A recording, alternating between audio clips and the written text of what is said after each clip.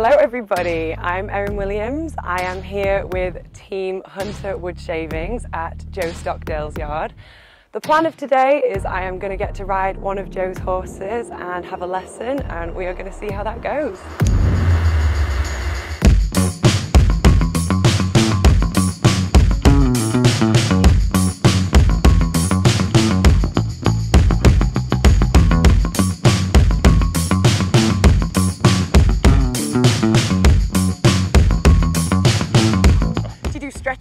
You do normal? What yeah, do a bit of everything. You got to stretch them out to start.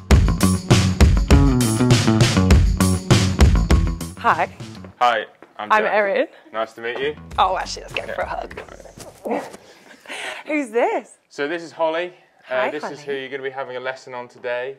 Um, we've had her at our yard for a fair little while now. Um, Is she's she going to be nice to me? She should be, yes. she should be. Um, she's a lovely horse, lovely and straightforward. So, yeah, fingers crossed. Straightforward sounds good. I am not a top show jumper like yourself. I have had a go. Well, we should be all right then. Yeah. Got the general idea. I got the gist. We go over it and we don't fall off. That's the plan. That's usually what I try and do. Cool. Very grateful for Hunter for putting this day together. So let's go and get you on. Let's go.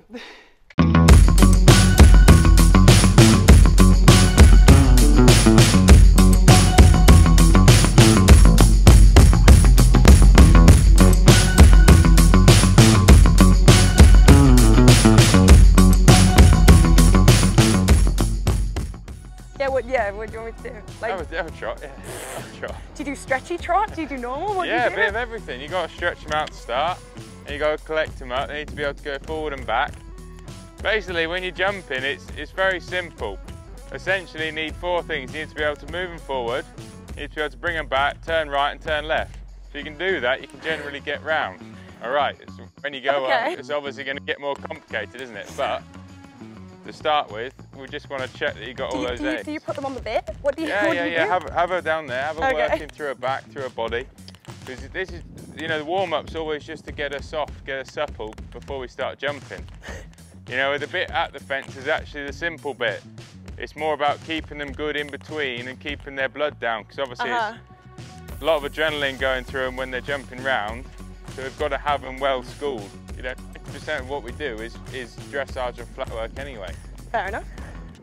But as you're trotting around, you just want to be checking that if you put your leg on, she, that she'll move up and she'll actually step off your leg and go forward. If you sit up and just support her, make sure that she'll just shorten her step a little bit. Just make sure you've got all those aids to begin with. And then when you feel that she's, she's listening well and you've got no problems, you can step her into canter. Even if you just do a bit of canter and then come back into trot, you know, a couple of those half vaults transitions, just to get her listening to begin with. You know, just get it, get her soft, get her supple again, and listening to you. So we're aiming to get around. yeah, yeah, Okay. yeah. We want her round. We want her working through her whole body. Gotcha. You know, she's got to use all the muscles to, to be able to jump. So pick up canter on your left rein, come round and just have a little pop over this cross pole just to begin with. Then.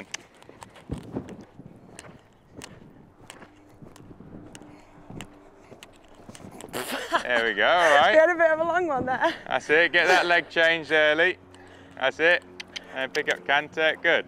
So she'll lock onto the fence. As soon as she sees it, she's going to lock on and know that's where she's going. So you just got to stay soft. Okay.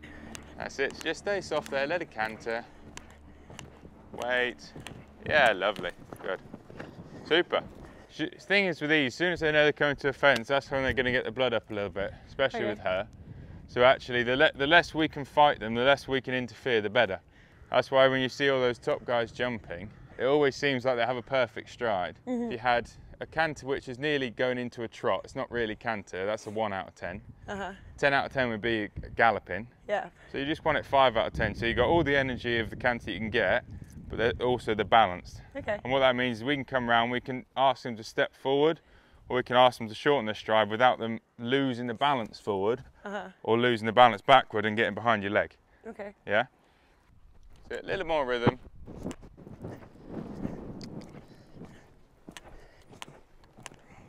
There it is, go with her. Yeah, good. Wait, don't push. Good. Yeah, super.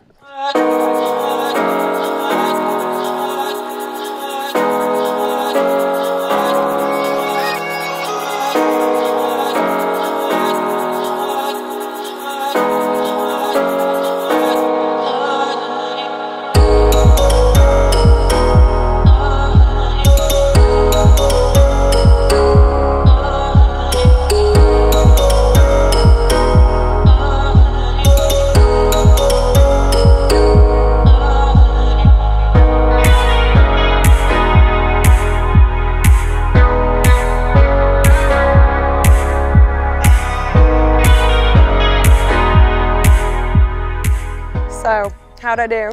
Very good. Yeah, very impressed. I thought we didn't have any disasters.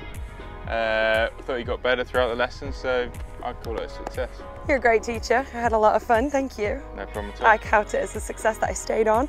I don't want to say, now let's see what you can do, because we know it's going to put me to shame, but let's see what you can do.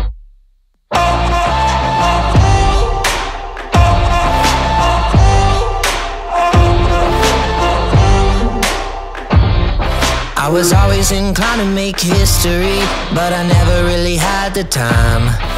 Spent my life living dangerously, never worried how I'm getting by.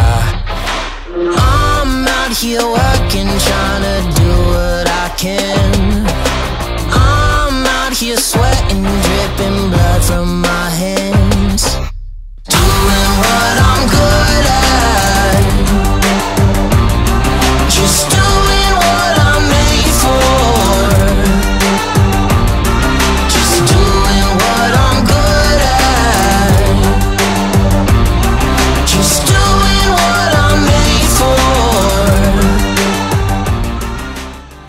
Thank you for having me.